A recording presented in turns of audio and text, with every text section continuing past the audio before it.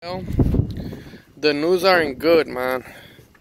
This is what I found on this side. It looks like fragments from the muffler.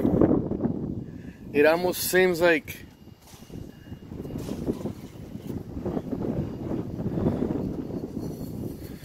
particles from the guide on this side made their way through the exhaust onto the other cylinder and it all went to shit, man. This motor is trashed.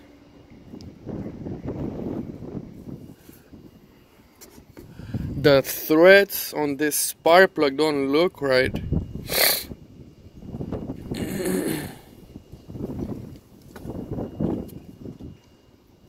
The spark plug has an indentation from where it got hit with something and the threads on the plug look good.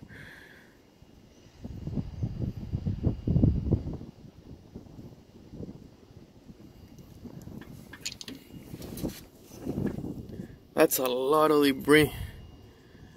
I don't know what to think